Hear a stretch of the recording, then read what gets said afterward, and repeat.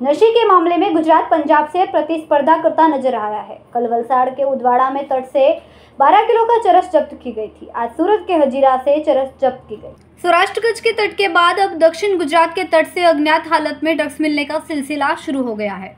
सोमवार को वलसाड़ के उदवाड़ा समुद्र तट से चरस के 10 पैकेट बरामद होने के बाद आज वलसाड़ और सूरत समुद्र तट से चरस के और पैकेट मिले। वलसाड़ के दंती भागल बीच से 21 पैकेट और सूरत के हजीरा बीच से तीन पैकेट बरामद किए गए।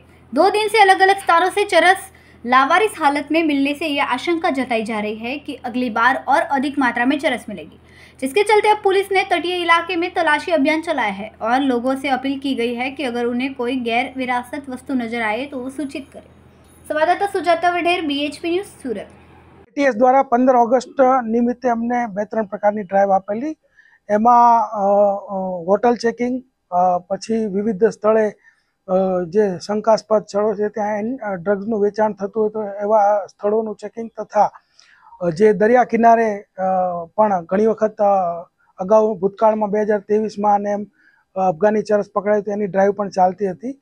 એ દરમિયાનમાં અમારું જે એક ફિશરમેન વોચ ગ્રુપ જે એક્ટિવ છે, એમાં ઇન્ફોર્મેશન અમને મળી કે ભાઈ આવા એક બે પેકેટો મળે છે, મળેલા છે, અહીંયા મળી આવ્યા છે. તો હજીરા મરીન અને એસઓજી બંને ત્યાં સર્ચ કરતા અમને ત્રણ કિલો અને સાતસો ને ચોપન ગ્રામ ચોપન ગ્રામ અફઘાની ચરસ જેની કિંમત ઇન્ટરનેશનલ ભાવે ભાવ મુજબ એક કરોડ ને સત્યાસી લાખ સિત્તેર હજાર રૂપિયા થાય છે. ચરસની અંદર જે અત્યારે જે પેકેટો મળ્યા છે એમાં અફઘાની ચરસ અને સ્ટારબક્સ કોફીના સિમ્બોલ છે. બીજી જે તપાસ છે, અગાઉની પણ જે તપાસો છે, ચાલુ છે, અગાઉ બે હજારની અંદર અહીંયા સુરત સિટીની અંદર નવ કિલો, આઠ કિલો અને તેર કિલો એમાં એસઓજી અને ક્રાઇમ બ્રાન્ચને આવું જ અફઘાની ચરસ મળેલું છે. જેની કુલ કિંમત પંદર કરોડ ને પિસ્તાલીસ લાખ જેટલી થાય છે. આ ઉપરાંત તાજેતરમાં જ વલસાડમાં, ઉદવાડામાં લગભગ છ એક કરોડનું આવું ચરસ મળેલું છે. અને વલસાડમાં જ તેર કરોડનું ચરસ મળેલું છે. એટલે આ વ્યવસ્થિત રીતે દરિયા કિનારેથી આ ચરસ ઘુસાડવા માટે પ્રયત્ન કર- કરવામાં આવેલો છે. પરંતુ ફિશરમેન વોચ ગ્રુપ ગ્રુપ અને જે દરિયાકાંઠે રહેતા માછીમારો, એની સાથે પોલીસની સતર્કતાના કારણે આ તમામ જે ચરસનો જથ્થો છે એ પકડાઈ ગયેલો છે.